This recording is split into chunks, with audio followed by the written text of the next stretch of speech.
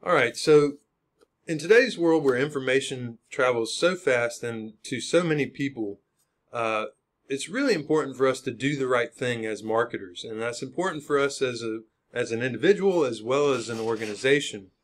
But there's some specific reasons beyond just doing the right thing and that satisfaction that comes with that uh, for why it's important for us to engage in what could be called ethical marketing.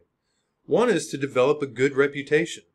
As marketers, when we do good things, people know about it, people learn about it, and we develop a positive image or a good reputation. That is worth a lot of money in the marketplace. So that's really important. Another reason that we need to engage in ethical marketing is just that it creates more customer satisfaction and therefore customer loyalty. Studies show that people would rather buy from an organization that does the right thing, even if it means spending a little bit more money for the product. So, to increase customer satisfaction and loyalty, we need to make sure we market ethically. Which leads me to the next point.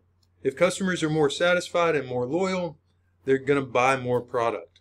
So, in the end, being ethical is not just good because it's good, it's good for our bottom line because it will help us increase sales. And then, lastly, in the broader uh, picture or looking at the big picture, by ethically marketing our products and ourselves, we can help improve the standard of living around the world, if not at least in our local uh, community, and by doing so, we can uh, improve health among consumers all over the, the globe. And so, for us to engage in ethical marketing is really important for our own reasons, but also for society at large. That's why we should engage in ethical marketing.